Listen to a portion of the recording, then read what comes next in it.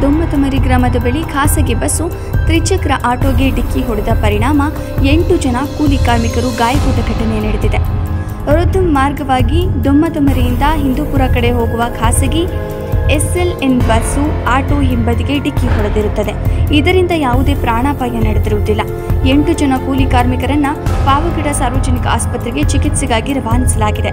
auto ಚಾಲಕನಾದ ಗಿರೀಶ್ಗೆ ಗಂಭೀರ ಗಾಯಗಳಾಗಿರುವುದರಿಂದ ತುಮಕೂರು ಜಿಲ್ಲಾಸ್ಪತ್ರೆಗೆ ದಾಖಲಿಸಲಾಗಿದೆ ಪಾವಗಡ ಪೊಲೀಸ್ ಠಾಣೆಯಲ್ಲಿ ಪ್ರಕರಣ ದಾಖಲಾಗಿದೆ